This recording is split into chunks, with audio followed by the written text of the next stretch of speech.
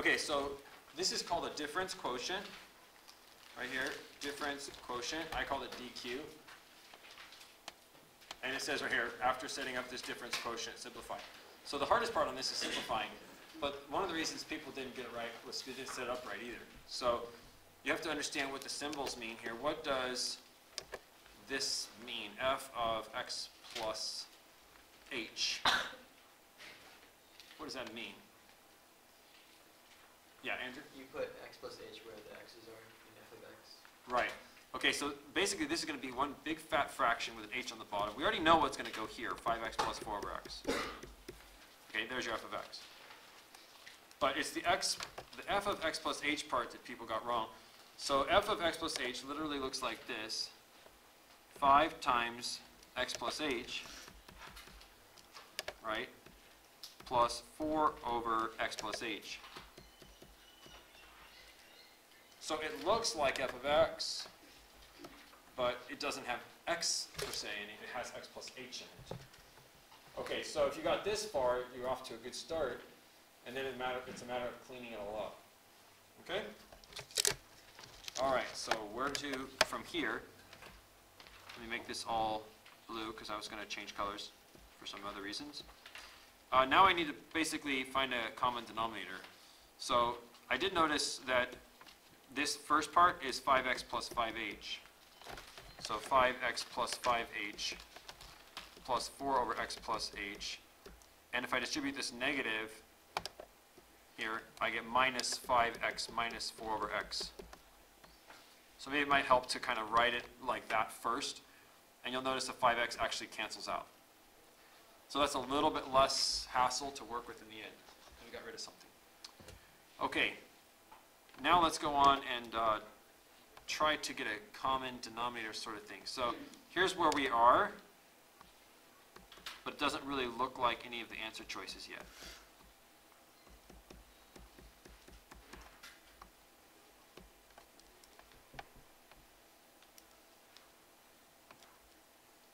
All right, so what I do, I need a, uh, like a common denominator. So one way to do this is just to use the idea that you learned last year with complex fractions. You can see that there are little fractions in this big fraction, right? So there's a 5h over 1, there's a 4 over x plus h, there's a 4 over x, and there's this h here. What you could do is look at all the little denominators that you've got and find an LCM. So we have a little 8, a little 1 there, there's an x plus h, there's an x there. Looks like our common multiple here is x times x plus h. So you can just multiply top and bottom by that. So that's what I'm going to do, multiply top and bottom by x and x plus h simultaneously. Like that. Okay, so if you multiply the red x, x plus h times this term, you're going to get 5h times x times x plus h. If you multiply by the second term, you're going to get, notice the x plus h is going to cancel here. You're multiplying 4 over x plus h times x and x plus h. So the x plus h will vanish, leaving you with just a 4x right there for the middle term. 4x minus, and then we've got this term here. I'm multiplying the triangle by the red. So I'm multiplying 4 over x by x and x plus h. That gives me what? X cancels. 4 times x plus h, right? Which is in parentheses. So it's just 4 times x plus h. And then all of this is over hx, x plus h. So it's still ugly, but it's cleaning up. And all you have to do is basically distribute a little bit, and you'll see that there's a, like a 5hx squared, and there's a 5h squared x. All right, so let's write it all out, I guess. So it's going to look like this in black. It's going to be 5hx squared plus 5h squared x plus 4x minus 4x minus 4h all over, and then we have our denominator. hx, x plus h.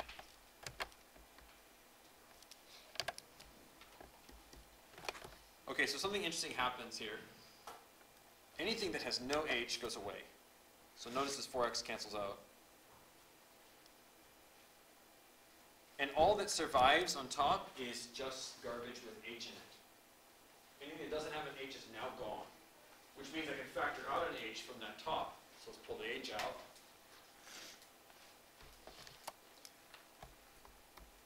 So this is going to be h times, and then we have 5x squared plus 5hx minus 4.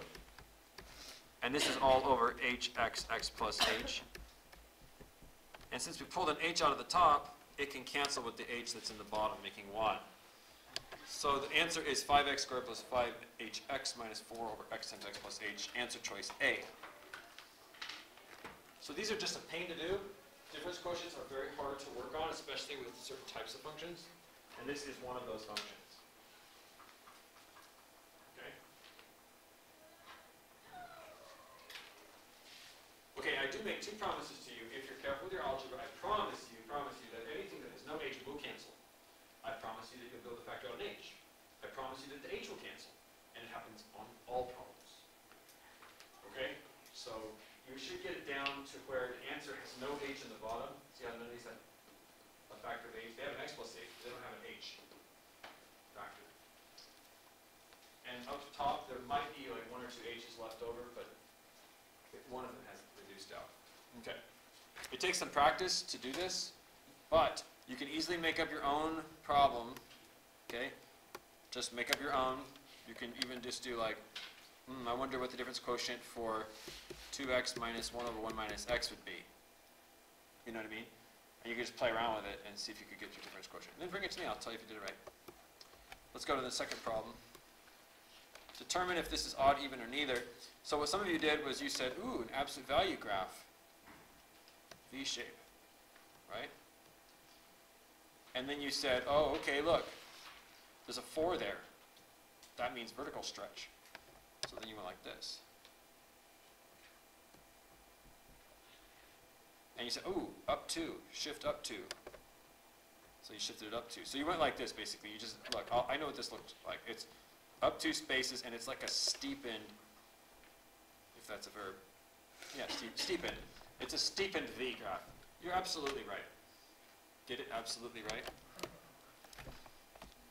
It's an absolute value function. Okay. So that's a really good graph, and it certainly seems to have what kind of symmetry? Y-axis symmetry, right. And if it has y-axis symmetry, you can conclude that the function is what, odd or even? Even. Even. But that is not a good enough justification, okay? You can't just say, oh, it looks like it has y-axis symmetry, so it must be even. What if there's like a tiny little point over here that's not symmetric on the left? You know what I mean? So we don't ever trust graphs to make justifications. Okay, you never trust a graph. And you never trust a table of a graph. What you want to do is state the rule in the book. Memorize the rule in the book. What is an even function? f of negative x equals f of x. You might not even understand what it means, but at least you're quoting a fact instead of examining a picture that you drew. Okay, so that's the reason. Let me show you the work that leads to that reason. Okay, what does f of negative x mean? What does f of negative x mean? What are you supposed to do when you see f of something? Plug it in, right? So what is f of negative x? What does it mean? It means to take your x's that are in the problem and change them to what? Negative x's. But wait a minute, there's an absolute value on this negative x. So how does that simplify? What's the absolute value of negative x? It's not x. What if x was negative? Then th- this can't be right. Look, look. You can't say that the absolute value of negative x is x. What if x is a negative number? Like negative 5. You just gave me a negative output from an absolute value.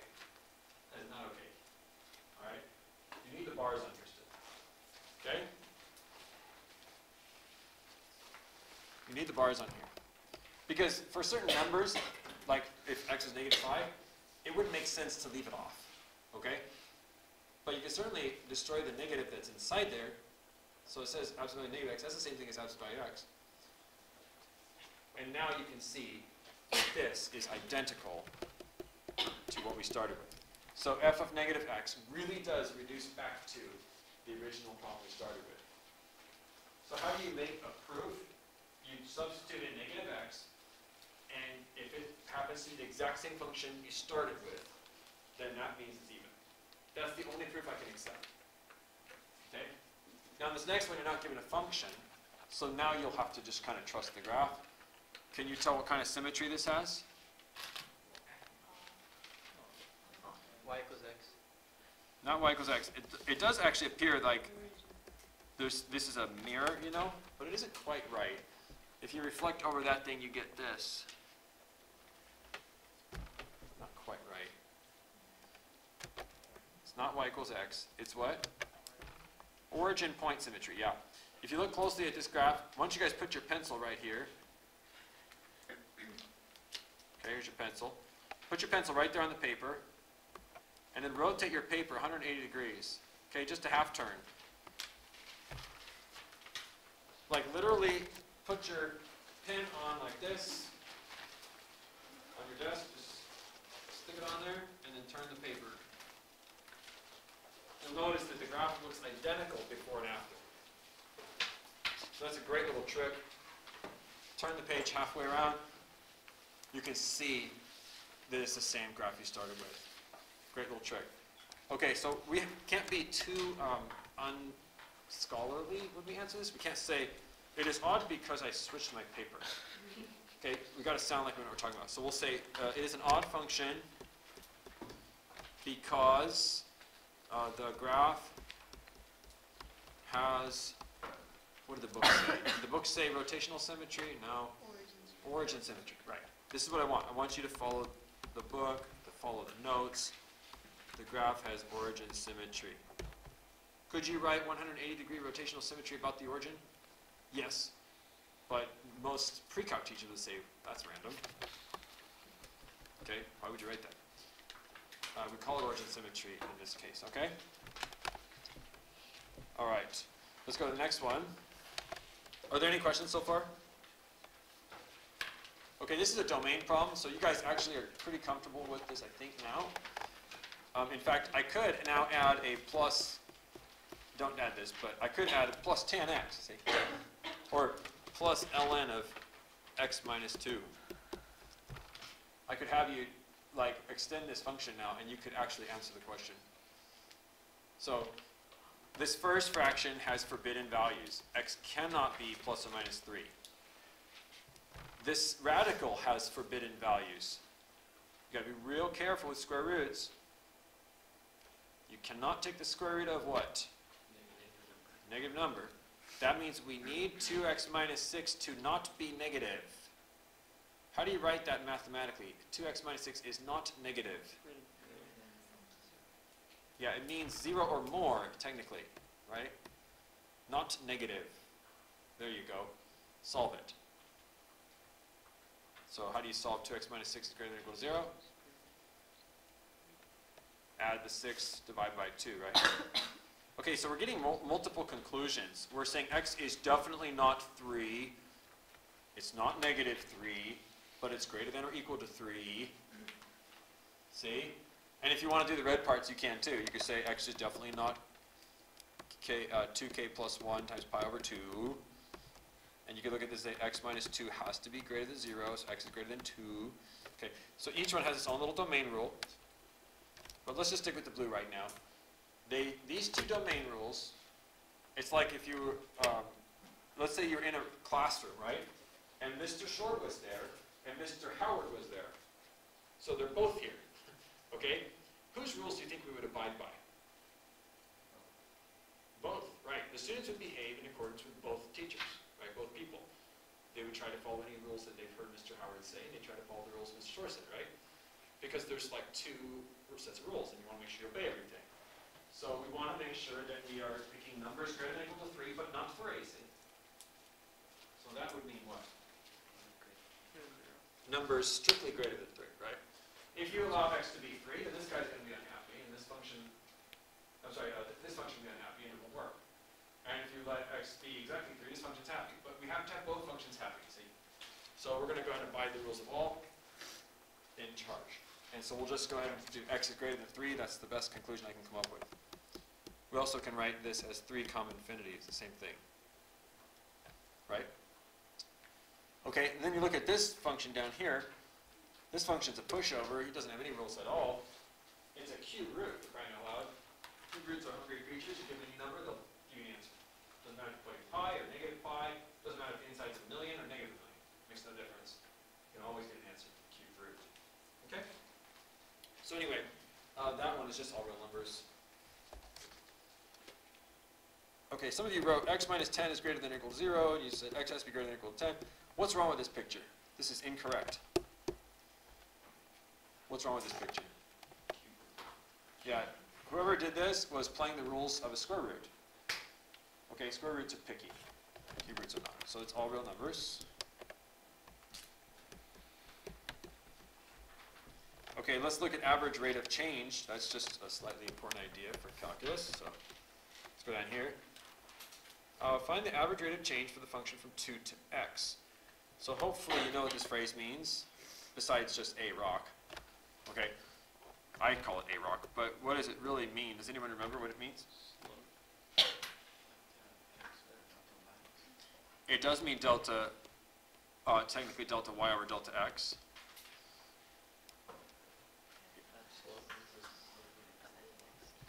Yeah, some of you know the formula, f of x.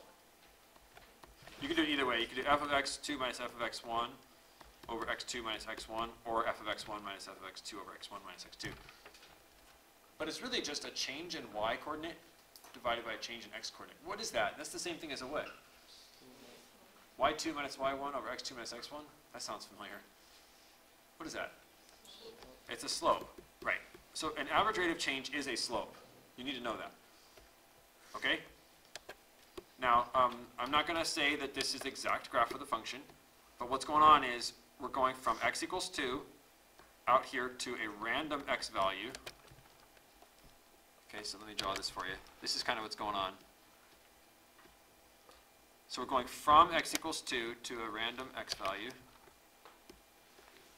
And I think the curve goes like that. Okay, it doesn't really matter. We're just trying to understand. Okay, we're just trying to understand. So we're trying to find the slope between here and here.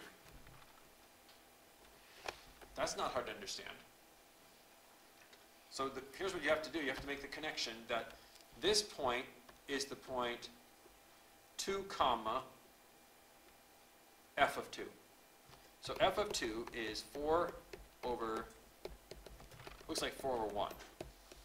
So see, this is the point 2, 4, for sure. And this is the point, I guess I'll never know. I guess it's just the point x, comma, f of x. I don't know what it is.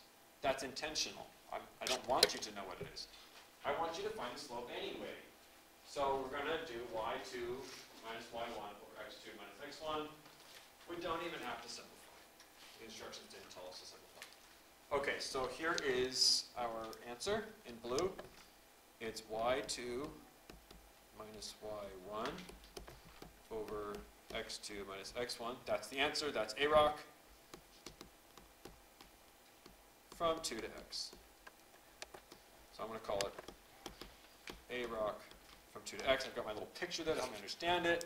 This is the answer. I'm not going to bother simplifying it. It's just the difference in y's and the difference in x's. Okay, so where did I get the y's from? Where did I get this and this? How did I get 4? Plugging in 2. How did I get that garbage? Plugging in x. Okay, so that, I guess that's the answer. Let's go on to part B. Oh, question? Yeah. Um, does it matter which one you make, uh, like X one and X two? No, you could just as well have written the answer like this. 4 minus 4 over square root of x minus 1 over 2 minus x. Some of you did. You just reversed x1 and x2 around. It Doesn't matter. Good question. Okay. But see, this next question says, use your answer for part A to find the slope from two to five. Okay? So what you have to understand is what you've created, this blue formula, you know what its job is? What's this guy's job? To find slopes. So if you tell me x, someone say an x. Seven. If I plug in seven into this formula, it will give me the slope of that red line. That's kind of neat. That's pretty cool. So this has a very specific job. Right? If you plug in hundred and one, you'll get the slope between here and hundred and one. Okay, so I would like to find the slope from two to five, and this formula was designed to find the slopes from two to anything you wish. So I'm gonna plug in five, and that would give me the slope from two to five. Okay, so I'm going to do 4 over square root of 5 minus 1 minus 4 over 5 minus 2. So I just basically plugged in 5, and this gives me 4 over root 4 minus 4 over 3. In other words, 4 over 2 is 2. So basically you have this. It looks like the answer is negative 2 thirds. Yeah. Okay, let's update our picture, okay? What have we accomplished? It's important to understand. Maybe I should have had you draw more pictures on the test. We have now found that the slope from 2 to 5,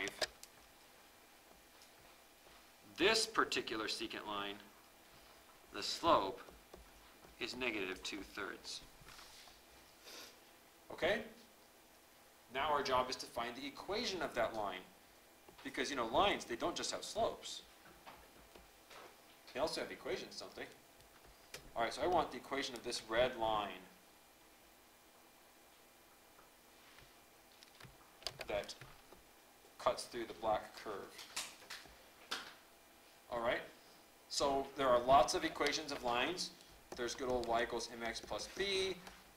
There's y equals uh, y minus y1 equals m times x minus x1.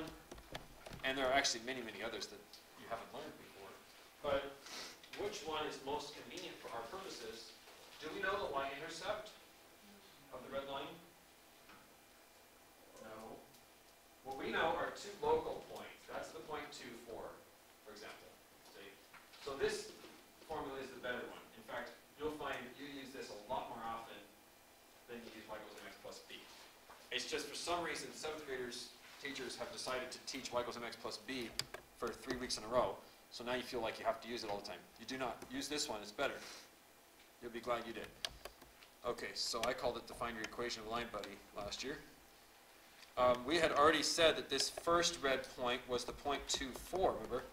So I can just go y minus 4 equals negative 2 thirds times x minus 2. There's the point 2, 4 plugged in. So doing problem C was no harder at all. You just had to pick a form and put in a 2, 4. You could also put in a 5 of a 5 instead. Okay, so that's the number 5. Any questions on that? Okay. Give me one second. My microwave is starting to beep randomly. I have no idea why it does that. Some kind of weird humidity effect. Okay, let's go down here. Number six. And I'm going to try to display six and seven at the same time here so you can see all, all of our transformations.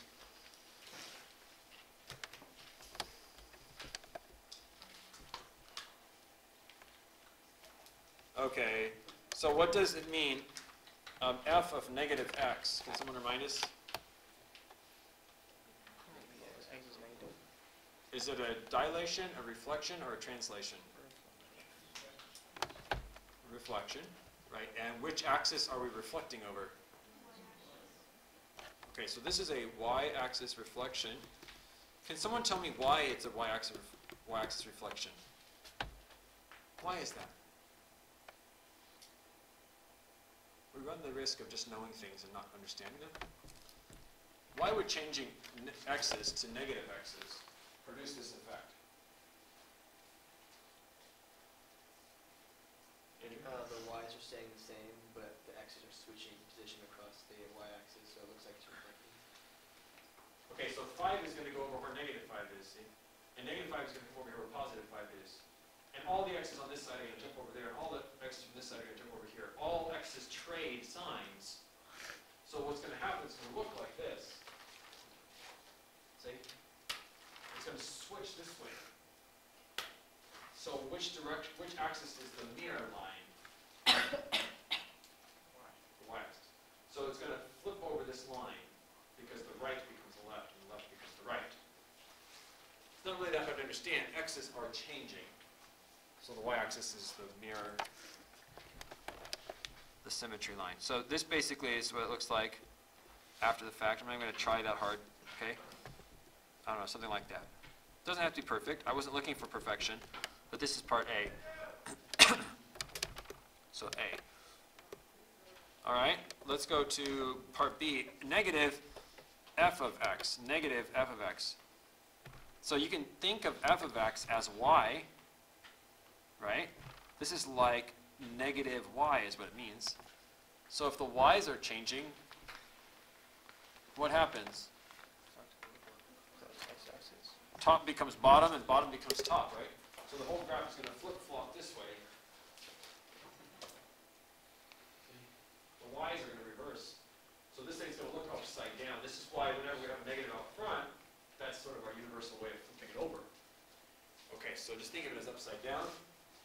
And that would look, of course, like this.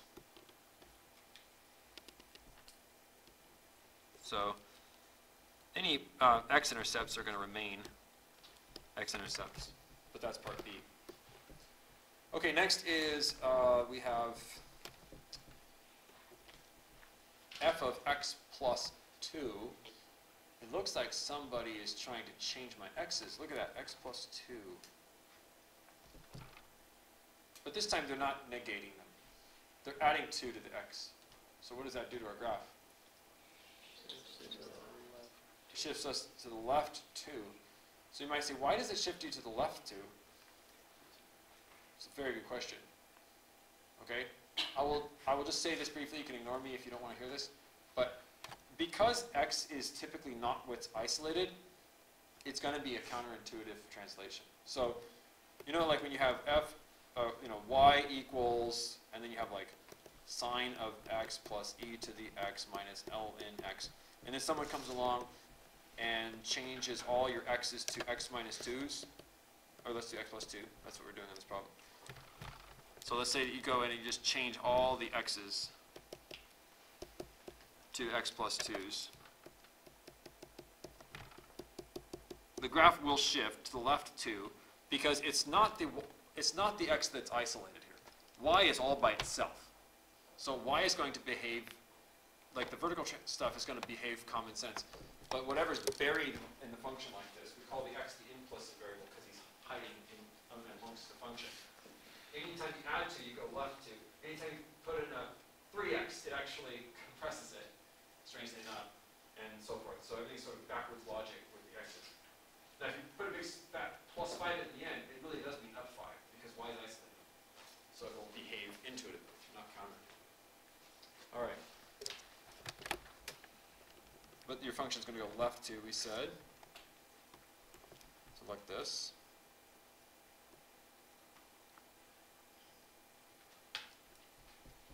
Something like that. Close enough. And the last one is uh, f of x add 2. Think of it as y plus 2. And that literally just means add 2 to all your y's. So the graph shifts up two spaces. Looks like this. Right, actually, this part probably even goes, let me erase some of this stuff, erase all of it. We're trying to go up to, so this point's going to go up to, this point's going to go up to, this point's going to go up to, so it's going to be right there actually. This point's going to go up to, this point's going to go up to. So it looks like this. Something like that. Okay, so sorry if that's too easy for you and I went on too long with it, but some of you are still doing it wrong. So I need, this is the final exam, I have to finally teach it one more time. And then this last problem here for translations and dilations that, this is your dilations. And this means vertical stretch. That's what the 2 means, because it's double the y. So imagine taking this y coordinate and doubling it, be up here now. Imagine taking this y coordinate and doubling it, be down here. So the graph is going to maintain its width, but double its height. So it's going to look like this. That's part A. And then we have part B. Does anyone know what part B is? 2x. Remember, it's counter logic. Backwards from what you might guess. Shrink. It's definitely horizontal because it's x. And it's shrink or stretch? Shrink, right.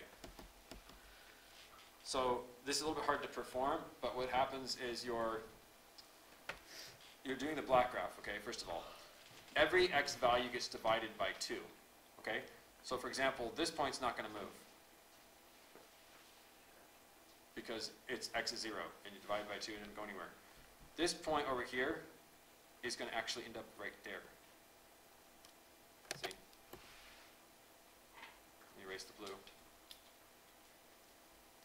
And then this point over here, if you divide that by 2, it's going to end up right here. So these three black points, A, B, C, are in their new locations, A prime, B prime, C prime. They are all halfway back to the origin. So it's kind of like the origin is a magnet, or the y-axis is a magnet, and it's pulling all the points back. And they make it back halfway exactly. So these three represent what these whole three were. And so you don't change the heights though, only x is changing. So you have to kind of sketch this like that. Maintaining the height, but compressing the width. And the left side of this is just a reflection of it over the origin, because this is still an odd function. So you could just draw the other half like this real quick. And I'm not actually comfortable drawing any more than this, because I don't know if the black graph goes any wider. Like, I don't know what happens out here, so I'm not comfortable progressing past this point. That was sort of an ending point for this problem, so that's gonna have to be my ending point. Shrink. Those are your dilations. All right, and then the next page, or the next uh, problem here, increasing, decreasing. So in English, we read from where to where, from left to right. And when you study a graph, you actually do the same thing. So as you go from left to right, just think of it as a roller coaster. Anytime the roller coaster is going down, then you would treat that as decreasing. Anytime it's going up, you could treat that as increasing, and just go from left to right. So here I am decreasing, I just went down. Now I'm increasing. This part, well, it's just kind of constant. I didn't go up or down. Then I got to this part, and I'm on the rise again, so that's increasing. And then now I'm coming down, and that's an arrowhead, so it actually goes on down forever. Okay, so after you label it like this, you can go in and just answer the questions. Where is it increasing? It looks like between negative 3 and negative 1, it was falling, or rising, I mean. And also, it looks like between 3 and 5. And of course, you can use your interval notation if you wish. So you can write negative 3, negative 1, 3, 5. Okay, and then looking at the blue, it looks like it's decreasing between negative 5 and negative 3, and also from 5 to infinity. I'm not going to write less than infinity. I'll just write x is greater than 5. So any values of x larger than 5, the graph is falling. So you can write your answer like negative 5, negative 3, and 5 infinity, if you wish. And then the last one, the constant, uh, use black. So that's just between negative 1 and 3, negative 1 to 3. Okay? Um, quick comment on this. There is one point that is an endpoint that might be interesting. See this first point right here? It looks to me like the graph right here at this point is going down. You know what I'm saying? Like, there's nothing on the left of it. I'm thinking if I can decide what to do at this point itself, I might decide that that also counts as a downhill. So if this is a roller coaster, that's sort of where you got on the train, at the beginning of the roller coaster, and the train is already like this when you climbed into it. So you could fall out before you put your harness on. So the train is like literally resting like this when the person says all aboard. Okay, so that point might be a decreasing, but you guys are welcome to just leave all these open. But what I'm saying is some people might be strict and say, well, the graph is technically pointing down right there. Okay? All right, let's go on to the next page. Graphing a piecewise function. I suggest you graph the parabola first. Okay, you guys are, you guys are good at that. This is a parabola shifted which way? Down. Shifted down two, right? So let's just draw a parabola shifted down two, and then we'll decide how much of it we want to keep. So remember how you draw a parabola? You start at the vertex, and you go right one, up one, right two, up four, right three, up nine, like this. Some of you have no strategy when you're graphing a parabola. So you're just kind of freehanding, and it's not working out too good. So right one, up one, right two, up four, right three, up nine, right ten, up hundred. Y equals x squared, right? Okay, so there's your graph. We don't really want all of it though. We really only want the part between negative one and two. So now let's do some surgery on this thing. Let's get rid of all that. And all that. And there's your graph. And actually, we're not even going to keep the point at 2. It's open. So we're just going to keep it open. But it's still, its limit is 2. The left limit is 2. So there's your piece. Some of you did not draw the white hole high enough. You had it like this. So I took off points. Okay? So it needs to look like my blue.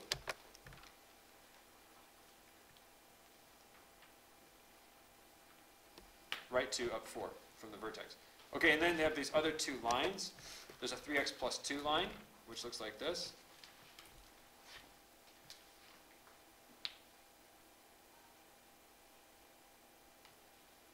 This is the y equals 3x plus 2, but we don't want all of it. We only want the part that's less than negative 1. So find x equals negative 1 and destroy everything else. So we only want this part of it.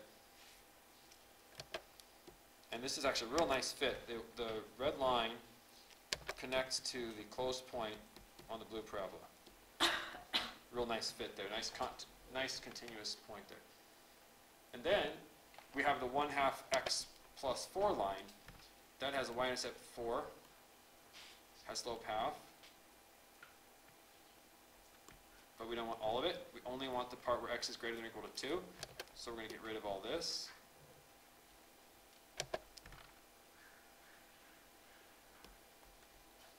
And there you have it. Okay, so now you guys actually know a little more about this kind of topic. So I can ask you like questions like what's the limit as x comes to 2 from the left? By the way, what is the what is the limit as x goes to 2 from the left? Look at the blue piece. The limit as x comes to 2 from the left? My finger is rising towards y equals 2. What's the limit from the right? Now I gotta come from the right towards x equals 2. My destination appears to be y is equal to 5, right? And when we have differing limits, we say that the limit at 2 what? Does not exist, right? Okay. Also, um, can you find the two spots, or can you find the, the one spot on this graph where it is not continuous? Where is it not continuous? At two, right, because you have to lift your pen. Where is it not differentiable? Yeah, that just means not smooth, like not jagged. See that sharp corner right there? That's not differentiable. Also, it's not differentiable here either. You can't say it's a smooth ride on a roller coaster through that point. So basically, we have some calculus ideas there. When you guys answer these questions in number 10, I suggest you not use the graph because you drew it and who knows how trustworthy it is. Right? I suggest you use the given function, which is perfectly trustworthy. See? Except maybe when you do the range. Okay? All right, so let's just run through this. Um, some of you, I asked you to find f of negative 2, and you plug negative 2 into all three of these, and you give me three answers. There's a problem with that. A function can only have how many answers? One output, okay, by definition. So you cannot plug negative 2 into all three of these. You've got to pick one. So which of these three creatures is hungry enough to eat the negative 2? Only the first one?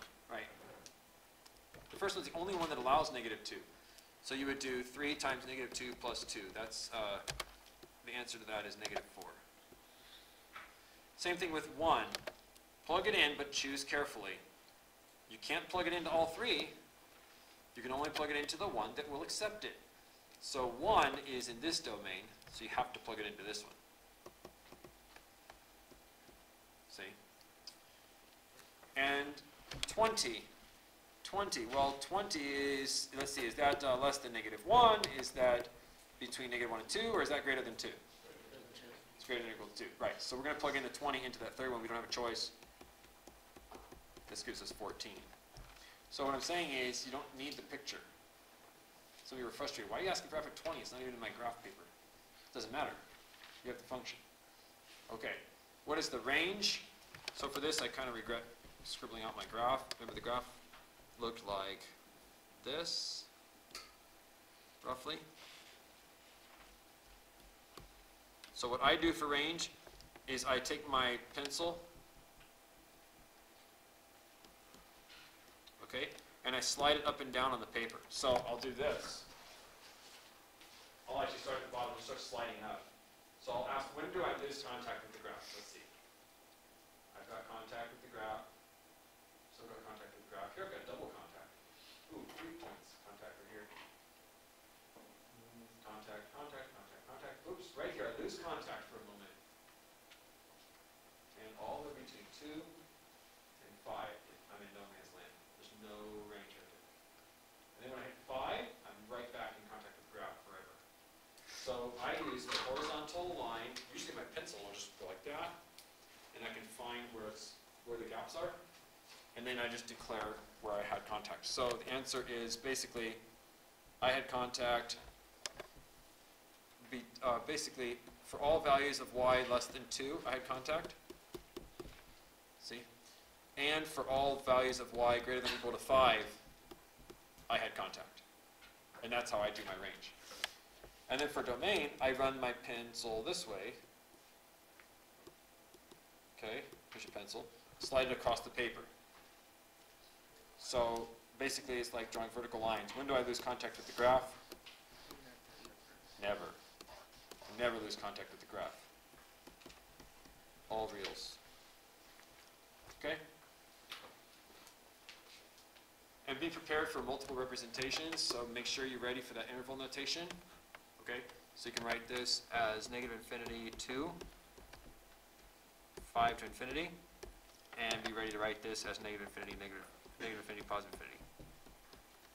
Okay? So you have two ways of writing your answers. Okay, so that's piecewise functions. And let's go to this one. So find GOG. I suggest before you find GOG, since G is going to get plugged into G, you got to make sure G exists. So can you tell me just right up front a value of x that's forbidden? Zero, right. So I'm going to record that now. x cannot be zero.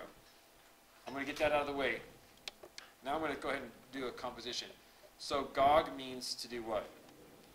Plug G into G. G, right. So you're gonna take this whole function and replace each x with it. So it's gonna look like this, x plus two over x plus two over x plus two over x. This used to say x plus two over x, but now it says x plus two over x plus two, all over x plus two over x. All right, so that's very interesting. Composing a function with itself. How do we clean it up so we can process it better? I suggest we do what we did on the difference quotient problem earlier. Let's just multiply by x here and here. Okay, so multiplying the x by the first term I just circled gives me x plus 2. And multiplying by the second term, I get 2x. And on the bottom, you'll notice the x just cancels and you just get x plus 2. So the answer is 3x plus 2 over x plus 2. Many of you got this wrong because you were care- careless during the combining phase, okay? You're supposed to be in reduced form, so that's as far as we can go. And then the last thing is I notice one more restriction now. Look, there's an x that's forbidden, another x that's forbidden. What is it? Negative 2 is forbidden. I didn't realize it until now. So there's two restrictions. The first one is x cannot be 0 because then g wouldn't even exist. The second one is GOG wouldn't exist if x was negative 2. So we have to make sure we declare both. Alrighty. Um, and then let's go on to this page. So this is actually a pretty easy problem. It's saying that the x-intercepts are plus and minus 2. That means if y equals 0, x is plus or minus 2. That's what it means. X-intercept means y is 0. So all you would do there is just make your y 0 and make your x's 2s or negative 2s. So you end up with this, 4 minus a over 2b plus or minus 2. I don't care if it's plus or minus 2 really. Look at this. Doesn't a have to be 4 in order for this to be true? Okay, and then the next one says f of 6 is undefined. So you would write 6 squared minus a over 2b minus 6 is undefined. Well, I think b has to be 3 then, because undefined means the bottom is 0. And so I don't really care about the numerator. Um, it's saying that this is undefined. That means 2b minus 6 is 0. b has to be 3. So now you have your a and your b, you now know your function. Let's rewrite our function. f of x is officially x squared minus 4 over 6 minus x, now that we know a and b. And if you want to find the y-intercept, let x be 0. So you literally just get negative 4 sixths or negative 2 thirds. Okay, I will continue recording this for fourth period, and it will end up as a video so you can look it over. Tomorrow we'll go over chapters 6 and 5. I don't know that we need to go over chapter 7, it's pretty straightforward. We just took the chapter 4 test, and you haven't even done corrections on it yet. Make sure you do corrections. Let's get started. Okay, so on this, uh, number 13, imagine if you're a businessman or a businesswoman woman, and you wanted to, let's say you were able to produce, I don't know, 120 boxes of something, but you weren't sure how much you should charge. Okay, you're going to sell these on eBay. You're not sure. Should I charge $40 for each one? Or should I charge $15 for each one? Like, what's my best situation? So, this, I don't know where it came from, but this little formula here might be, for your business, a good formula. So, where, what would you want to charge as a price? Well, if you know that you've made 120 boxes, you can plug that into this price function and it will tell you what to charge people. So, what do you want to charge for the price of a box?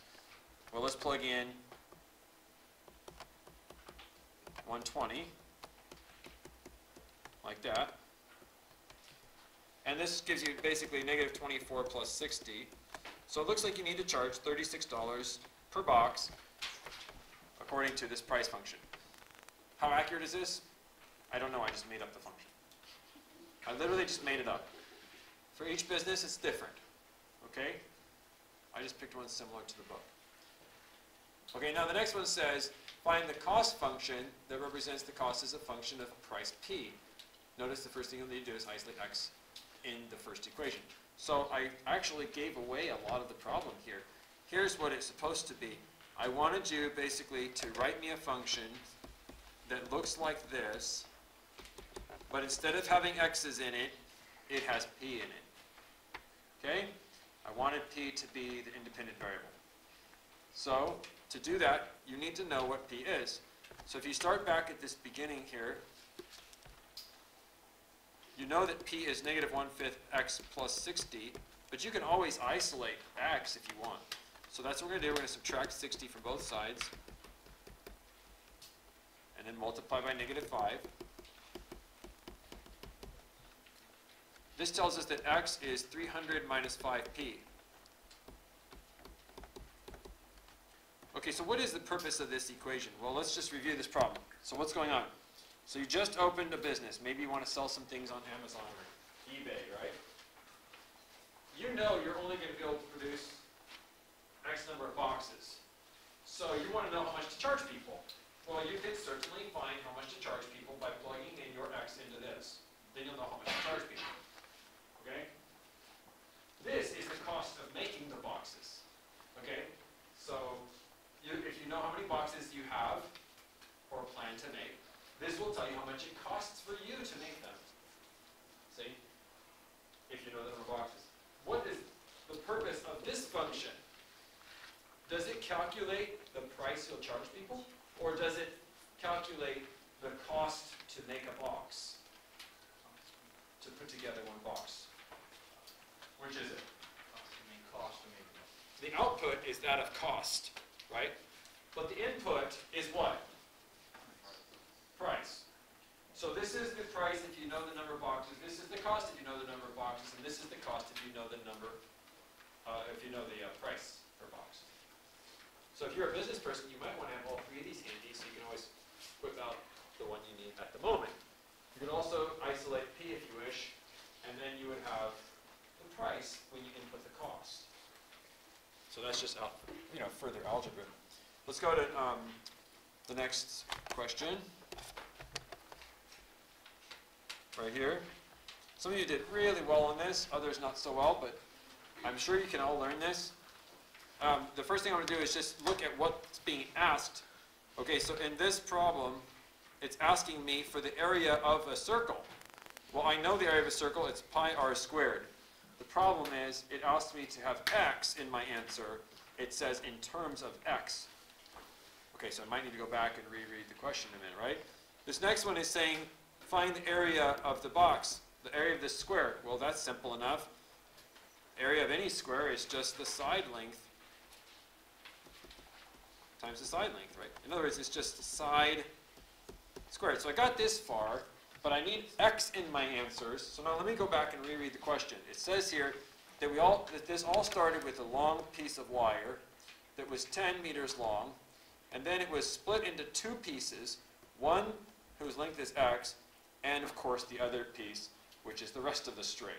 So what is the rest of the string if it's 10 meters long and you've used up x of it? How much is left? 10 minus x remains. Okay, so here's the logic jump. When we made the circle, we made it using the piece of length x. So this distance from here going around, okay, this distance is x. But what do you call the distance around a circle? Circumference. And what's the formula for circumference? 2 pi r. So we're saying that 2 pi r is x. See? 2 pi r is x. I was hoping to get r for my little area formula. So what am I going to put in here for r? I'm going to have to figure out what r is. Let's go back to this block equation and isolate r. So what's r? How do you get r by itself? Divide by 2 pi, right? So you're going to stick in 2 pi right there. That's the answer. That's all I wanted. So it's pi r squared with an x look to it. Okay? Same thing with the next one.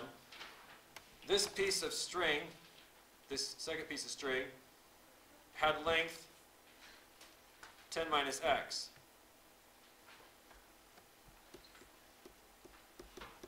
See? But I made a four-sided shape with it. So what is the length of each side? The total perimeter is 10 minus x. But how long is one side? One-fourth of that, right. So the side length here is 10 minus x over 4. The side length here is 10 minus x over 4. The side length here is 10 minus x over 4. The side length here is 10 minus x over 4. How do I find the area of a square? You just square one side, right? So the area will be the side length squared, in other words, 10 minus x over 4 squared. So this happens in calculus all the time. You'll be given a situation where you're just finding area of a circle or area of a square. That's not hard. It's understanding that it's not in terms of radius. So this would be called area in terms of circumference. And this would be called area in terms of perimeter. To be comfortable with having a different input. So x is the input instead of r side length. Okay, so that's the last problem of this test. And that means that um, I can clear the screen and stop the video. But if you need to see